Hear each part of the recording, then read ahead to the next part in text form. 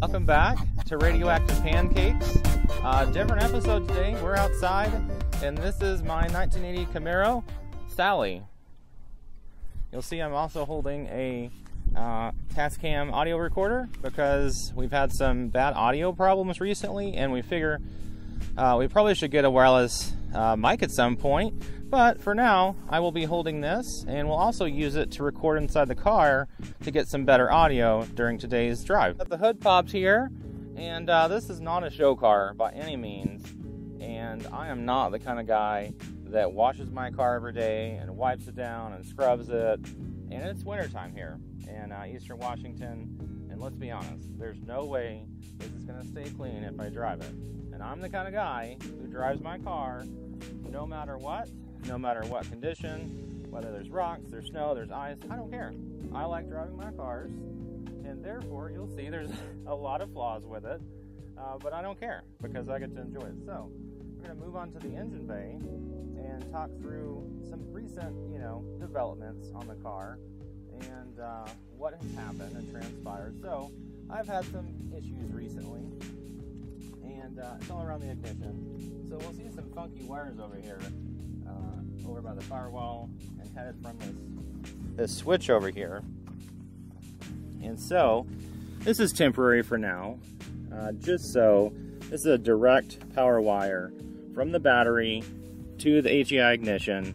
Uh, I actually pulled off an MSD um, 6A uh, CD ignition box recently with uh, the distributor as well. I've had some major ignition issues and uh, finally got them resolved by going back to a more stock style HEI distributor with the coil and the cap um, and everything there.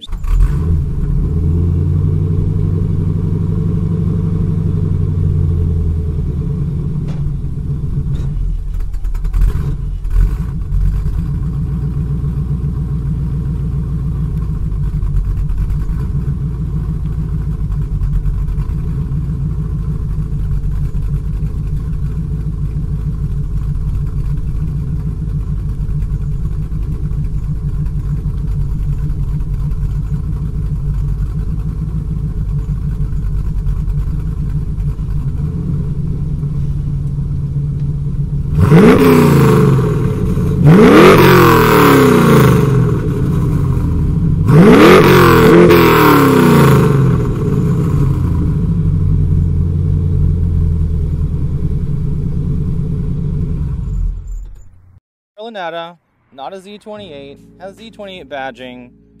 Um, underneath, the full suspension has been changed, has different leaf springs in the back. I'd love to convert it to a four link, but still a live axle.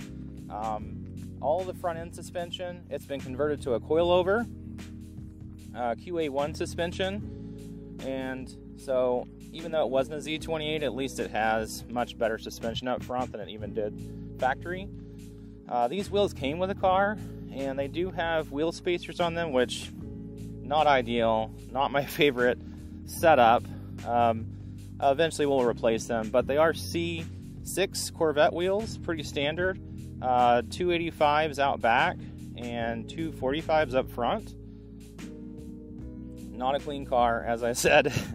plenty of plenty of body damage.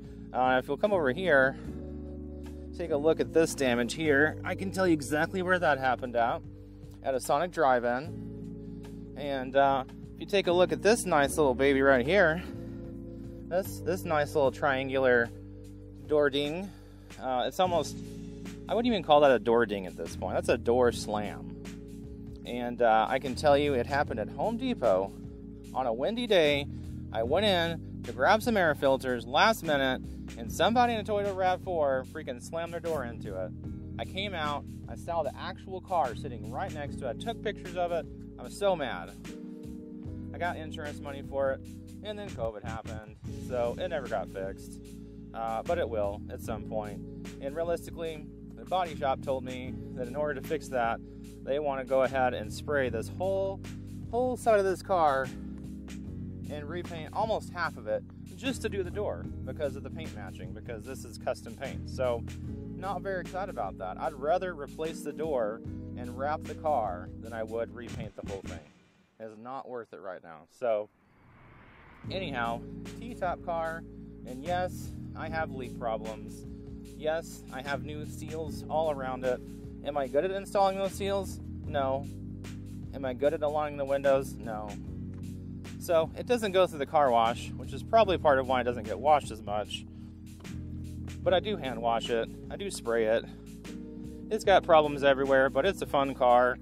Um, you know, has Dakota digital gauges in it, and um, a Sony head unit. It's pretty dirty inside because, you know, like I said, it's the winter, so I don't really care. Um, so we can show the inside, but not great. Grant steering wheel, pretty cheap. Challenger steering steering wheel. Uh, these seats came with a car, and they are who knows, who knows what brand they are. I have no idea. They need to be replaced or at least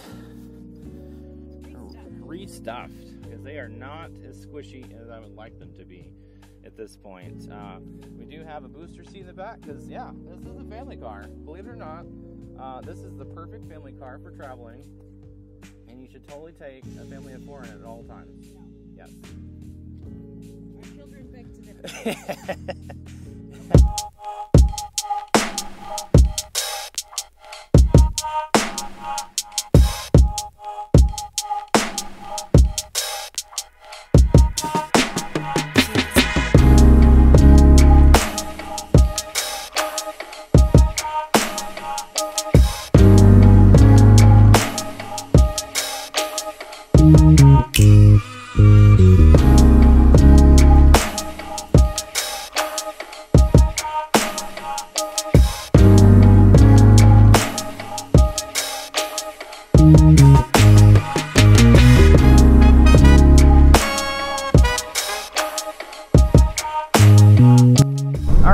Driving uh, out to a remote area to, to do a little bit of harder driving away from the city uh, in a safer area. And we're going to try to get you some drive-by video as we do it. So we're driving out there now, cat's in the car, and um, I don't know, just enjoy the view on the way there.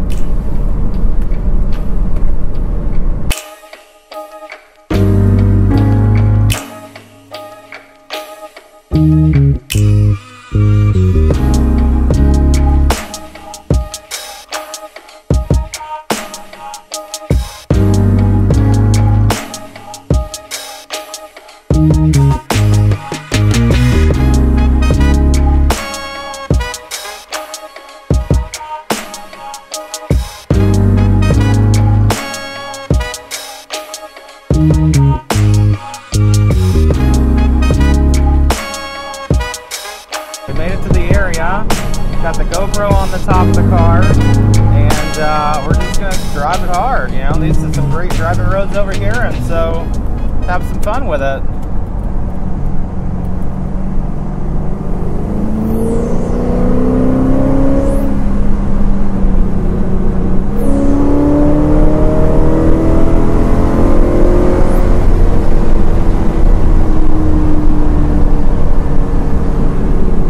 Get to really flex the suspension out on these roads, which is great. Hopefully, you can hear the, the exhaust. Don't go too fast with the cops around here.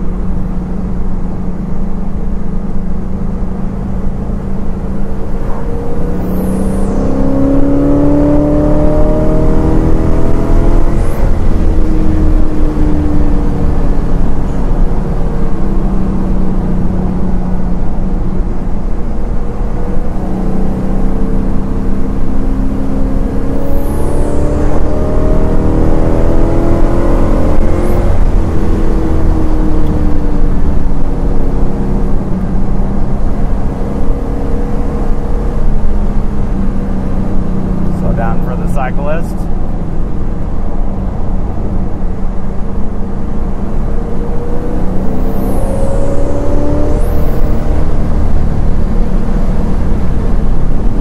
Oh yeah.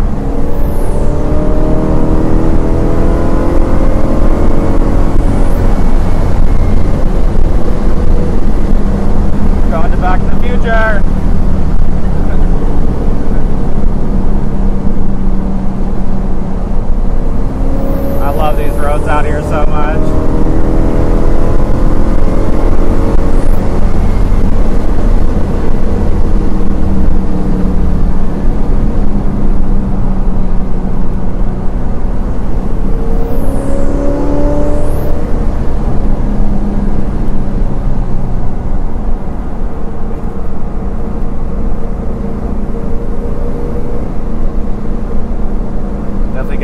desert biome out here.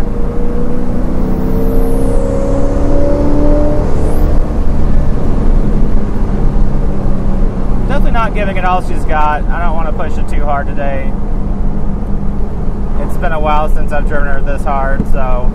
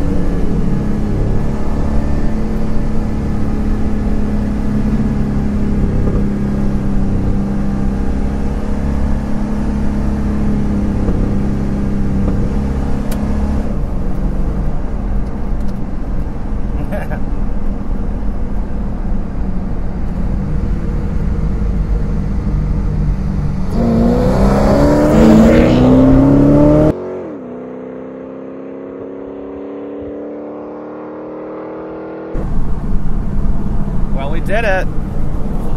Went out here, we recorded, and uh, got some good passes, I think. You know, we're going to head back home and, and check the video, uh, but looking pretty good.